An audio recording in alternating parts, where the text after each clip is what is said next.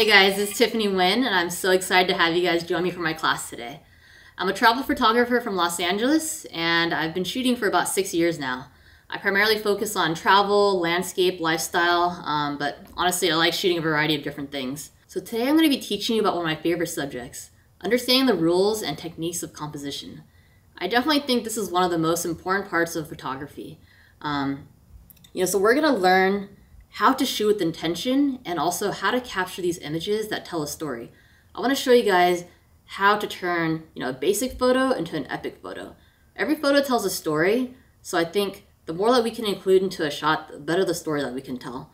Um, so we're also going to learn how to frame up your shots, how to utilize your natural surroundings, and know when and where to place your subject in order to help elevate that photo. So I truly think that photography is one of the best ways to tell a story. For me personally, I love photography because, you know, it's a creative outlet for me to share my own story. And for me, I love sharing stories through imagery. It also gives you an opportunity to share your own perspective on something. Um, I think what's so cool is that you can go out and shoot with a group of photographers, but you know everyone's going to go out and capture different types of images. Everyone's going to be editing, you know, their photos differently, and so really you can be as creative as you want and i just think that it's so much fun to be able to do that. So i'm going to help you train your eyes so that when you're out in the field you can start utilizing these different um, techniques and tricks that we talk about in order to capture the best photos possible. All right so let's jump right in. So these are some of the rules and techniques of composition um, that i like to use when i'm shooting and we're going to go over each of these individually so you guys have a better idea of um, how to use each of them and I think something that's really helpful is that I'm going to show examples of photos that I've taken to kind of act as like visual aids for you guys. Um, I think it's one of the best ways to learn, especially as photographers. A lot of us are visual learners, so um, it's going to help when we have examples um, when we go over each of these. I'm also going to explain to you what's going on in my head um, when I took these shots.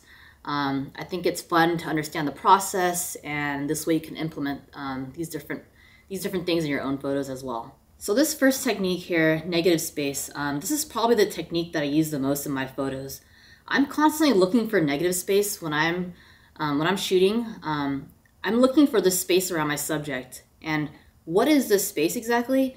Um, it's basically an empty area in your composition that you're looking for to place your subject um, because it adds contrast between your subject and also the background. So adding a subject to your composition, as you can tell, I love adding subjects in my shots, I think it really tells a much more powerful story. And so when you're out in the field, try to look for this negative space um, so you can place your subject here. And in this first example here, this is a photo I took of my friend Oregon. And I love that she's wearing this red jacket. Uh, if you know my photos, you know I'm probably going to be having my subject wear something that kind of pops and makes them stick out. So when we got to this spot, there was this epic waterfall here with like the basalt columns in the back um, right away, I knew that I wanted to place my subject in the negative space. So I wanted to have her entire body um, with like this white curtain behind her with like this powerful waterfall.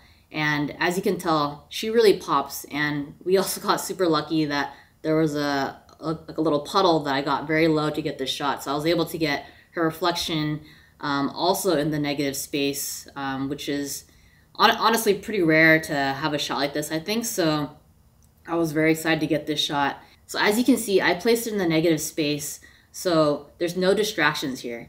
Your eyes automatically drawn to the subject, um, and there's no there's no guessing what's the main focus of this shot. So that's a great example of negative space. This second shot here um, was shot in Iceland. Um, this is actually a photo of myself. It's a self-portrait that I took um, in Iceland at a hot springs. So I set up a tripod here, and it took me forever to get this shot. I think if you if you didn't know the story behind this, you'd be like, oh, that's awesome. Like, you got so lucky. There was no one there. Um, absolutely not. There were so many people here. I just kind of had to wait for the right window, the right moment. And I remember there were so many times where I hit the shutter, went back in the water, and like there were people there. So a lot of trial and error for this shot. But again, this is just another example of negative space. Um, you see that there's nothing um, around the top of my head or also like where the reflection um, of my upper body is in the water there's nothing around that's distracting. Um, the upper body and the reflection are both in the negative space. So the next technique we're going to go over is how to use a natural frame to kind of highlight your subject. Um, when I'm out shooting, I try to find different things in my natural surrounding to help frame my shot. So when I arrive at my first location, I don't usually just grab my camera and start shooting. I like to walk around, um, kind of look for different angles and different different perspectives. So this is a super fun technique where you can get creative and really find a more interesting composition. So this first shot here on the left, um, I took this photo in Banff at Peyto Lake. And, you know, just looking at the final product of the shot, I think I think you can agree that it's a really cool shot where there's a natural framing with the trees, but if you saw me taking this photo, you'd probably be laughing and wondering like, what is she doing? I was literally crouching down, you know, holding the leaves with like one hand, my camera on the other hand, like getting between these two branches and just looking super awkward to be honest. But um, what I was seeing through my viewfinder was completely different. So, you know, again, look for a natural frame because you can get an awesome shot, um, just a landscape shot. But when you can add a little flair to your shots, add a little bit of creativity, you can really elevate the photo. And then the photo on the right here, this is a classic shot of the Golden Gate Bridge. Um, this is one of my favorite shots. I really liked how I used the trees to frame up the Golden Gate Bridge and the lighting here. I shot this during golden hour. Um, I think my favorite part about it um, are the birds. A lot of people, you know, may add birds and they may Photoshop birds into their shot, but this was a real photo with just tons of birds flying around that day. So when I arrived at this spot and I saw what was happening in the scene, I got so excited and yeah, finally got the shot that I wanted here. So depth of field. Whenever you're taking any photo, you want to decide which part of your photo you want to have most in focus. And so generally, I would say that your subject um, is usually what you want to have in focus, but that's not always the case. Um, and with these examples, I'm going to show you exactly what I mean here. So the photo on the left, this is a picture of my friend's really cute dog named Finn. Um, we shot this on a hike in Washington, and as you can see, this photo is extremely sharp. Um, and what's happening here is that Finn is in, is in focus and he's very, very sharp and the background is bokeh. So that means that the, the background is blurred out, which actually will bring more attention to the subject and makes the dog pop more. So that's a trick that you can play around with. And I think I shot this at f2.8. Um, if I shot this at, let's say, f11, then we're going to see Finn and also the background both um, closer in focus together. So it's going to be a different look, but I kind of like this this look, um, especially when I'm shooting portraits or animals. I really like this bokeh look. And now with the photo on the right, I did something a little bit different. This photo I took in Yosemite during the fall. And usually a shot like this, I would say I would want to have the mountain in focus. Like that's my main subject. Um, but here, you know, I I really like fall colors and I just thought these yellow leaves were so awesome. Like kind of three of them, like uh, just sitting right above the water in my foreground. So um, for this shot in particular, I had the leaves in focus, and then I had Yosemite, um, the scene in Yosemite, so like Half Dome, all those trees in the background. I had that all bokeh out, and so it's just a completely different look. And the decision of what's in focus is totally up to you. Um, it's really personal. It's really a personal preference. So what's cool about this technique is that you can make it completely your own, and honestly, just have fun with it. So play around through different settings and yeah, I think you guys can create something really cool by just using depth of field. When I'm composing a shot, I'm thinking about how I can create a well-balanced photo. So what does this mean exactly? Um, a well-balanced photo to me has a foreground, midground, and background. And when you have a picture with all three of these elements, it's a slam dunk. Um, so let's talk about these two photos here. The photo on the left, I took this in Norway, and the story behind this shot is I remember waking up super early um, before the sun even came up. We had our headlamps on. We're looking for the trail, and pretty much right when we got to the spot was when the sun started rising right right above those mountains on the right, and I was rushing um, my subject to get to that spot, like right on the edge there, because I was like, we don't have a lot of time, and this is like the exact light that I want. So um, this use of layers here, you have like foreground, so you have like this grassy area that I have um, out of focus. I use depth of field here. And then I have my subject, um, the midground in focus where pulpit rock is and my subject. And the subject is also in the negative space, which you'll notice. Um, and if you also notice that the subject is in the dead center of the photo. So this is a good example of multiple techniques of composition um, being used to compose the shot. But layers especially, foreground, midground, and background. And then the photo on the right, I actually took this one in Scotland when I was on a Sony Alpha Collective trip. Um, I remember our group was just, I think we were just standing around just hanging out, and then we saw this VW um, like vintage van, and we all got so excited. We are like, oh my gosh, like we need to go take photos of this. I think the owners were like sitting in the car, but they honestly didn't care because probably so many people take photos of their of their van. So I just remember a bunch of us running around taking different shots of of the van, and I really like this one because I used the the purple flowers as my foreground, and then you know the midground, the main focus of the shot is the van, and then in the background you have this waterfall, the house, um, just like some fall colors in the back. So again, another example of using layers. So you have your foreground, midground, and background. So whenever you're shooting, just try to look for these different elements that you can include into your shot. Rule of thirds is one of the most well-known composition techniques. When you take a photo, um, imagine splitting it up into thirds, um, both horizontally and vertically. And so when you're thinking of rule of thirds, you want to keep in mind that this is a technique that you want to use to help place your subject um, in one of the lines of the third so you have a more well-balanced photo. So when you're shooting, it's really helpful to have grid lines on your camera. So I would definitely recommend going to your menu, your settings to turn on the grid lines. Um, a lot of times when you're shooting naturally, you won't even have to think about it. And I think that some of the best shots use rule thirds. Um, sometimes people think you know you have to place your subject in the, in the center, but oftentimes I think placing your subject in the third of a photo can actually be more powerful than placing them in the center. Um, you know, you don't always have to follow this rule, and there are definitely exceptions to the rule, but again, keep it in mind, um, and it can definitely help you compose a more well-balanced photo. So the first photo here on the left, this was taken in Central California. Um, this was at sunset, and this is a really cool spot because this cave has like these three openings. Um, I thought it was pretty cool that the middle one was, there was like a perfect spot for a person. So right when I got to this location, I was like, I have to have a subject here. So I placed my subject in the third of the photo, as you can see. He's also in the negative space, so that means, you know, he's in the empty space where the water is, so it's not very distracting to the audience. Like right away when I look at this picture, I'm like, oh cool, I see someone standing there. Um, love this photo. I also like the light kind of hitting the rock with the colors, like the pastel clouds. Um, definitely one of my favorite cave photos. And then this photo on the right here, this was taken in Yosemite another example of rule of thirds. Um, the light here was so nice. I always feel like whenever I do this hike, we get like the best lighting here. So love this spot. Just another example of rule of thirds. And you know, if, if you wanted to move this composition over and have your subject in the, in the middle, you definitely can do that too. But I like how the person's in the first third and also how you see El Cap in the second third of the photo. So it's just it just creates a more well-balanced photo here you're to find straight lines and symmetry in almost every scene that you're shooting. So whether that's something that's man-made, like architecture, or just natural landscapes outside. Um, there's just something so aesthetically pleasing about shooting these straight lines and making sure that your shot is really symmetric um, that I know I find to be really fun, and I just really like shooting these types of scenes. And for me, I personally try to nail a composition in camera when I'm out shooting the field um, so that there's less work for me to do in post.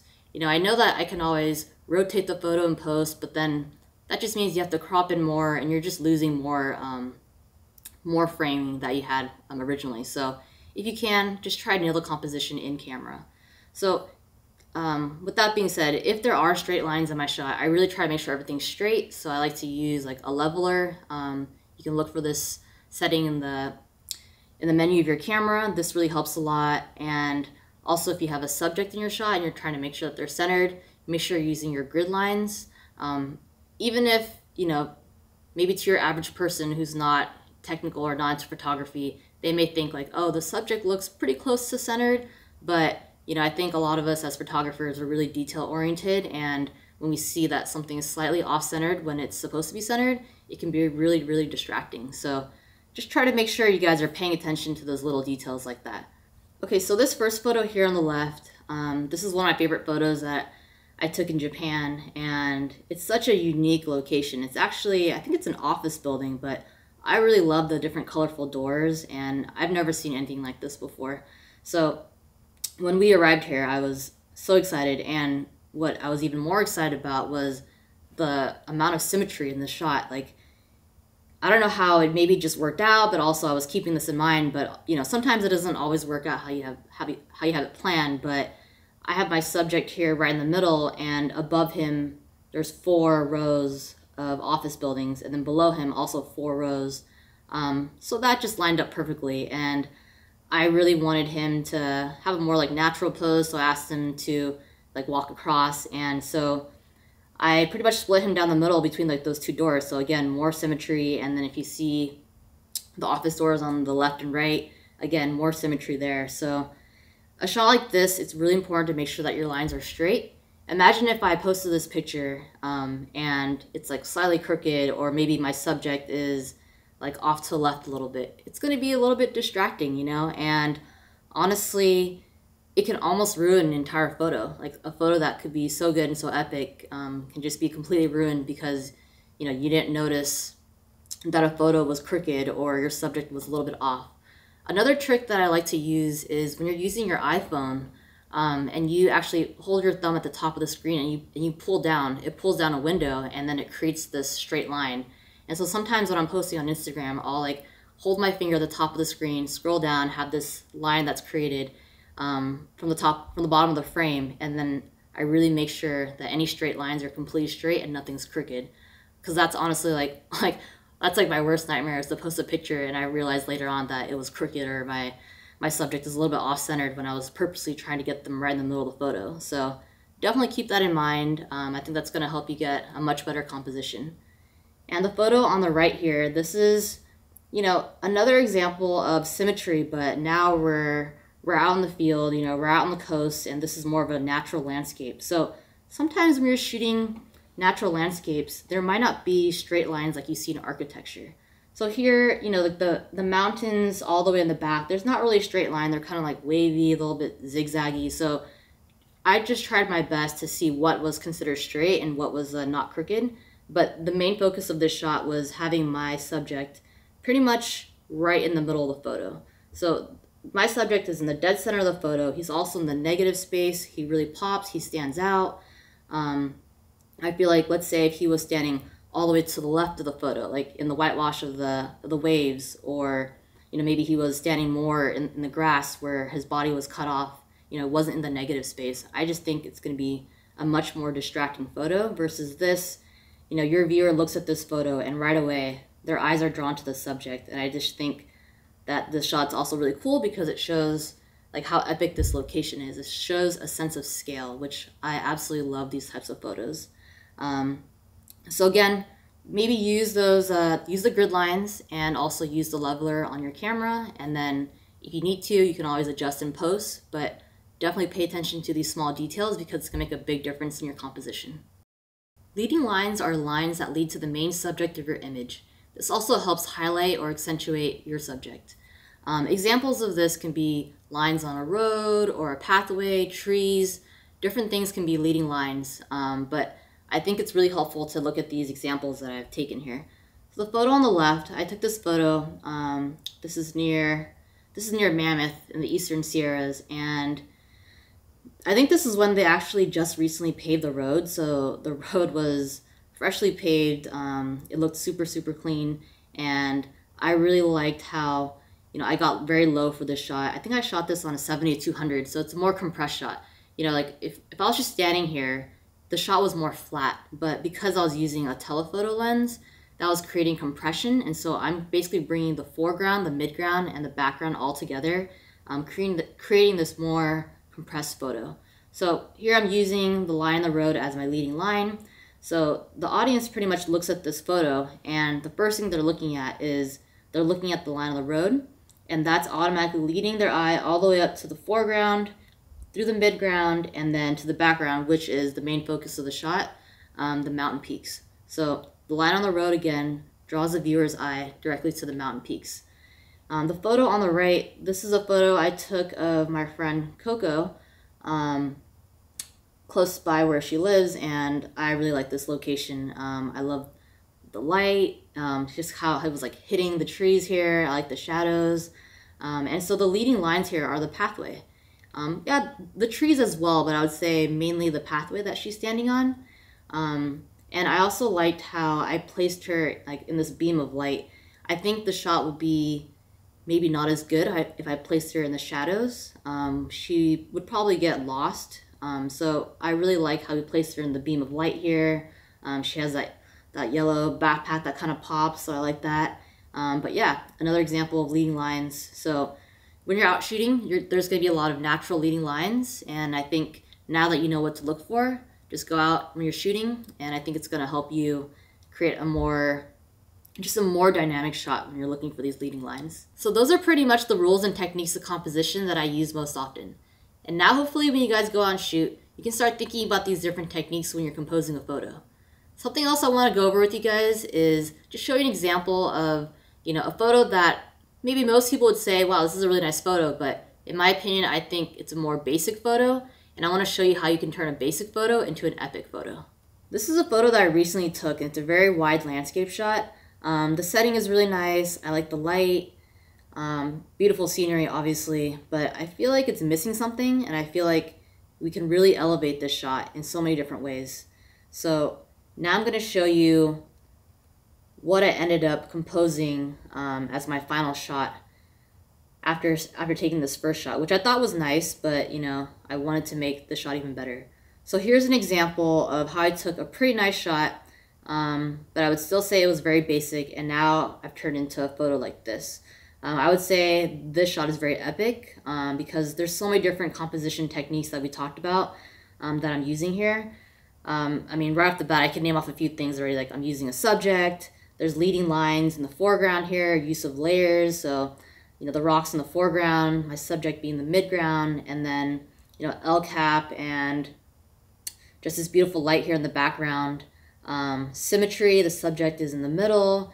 He's also in the negative space. You know, he's not lost. He definitely pops, even though he's not wearing something bright.